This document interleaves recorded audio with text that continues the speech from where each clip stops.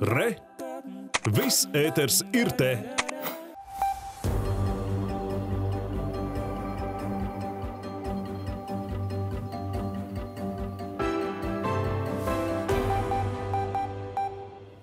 Labrīt! Ja vēl tikai plānojat doties ārā no mājas, tad ierēķiniet papildu laiku ceļā, jo valsts austrumos ceļi ir slideni, kā arī apsniguši. Tādēļ autovadītājiem šorīt ir jābūt īpaši uzmanīgiem.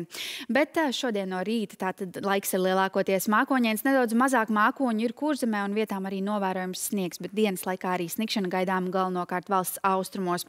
Un diena šodien būs plus 1, plus 4 grādu silts. Siltāks būs valsts rietumu un valsts centrālajā daļā, bet vējš pūtīs no ziemeļiem, ziemeļrietumiem un joprojām saglabāsies lēns.